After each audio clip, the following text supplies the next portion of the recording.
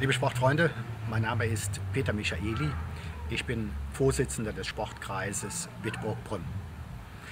Ich möchte Sie heute einladen zum Sportkreistag 2019, der am 25. Oktober in Wachsweiler stattfindet.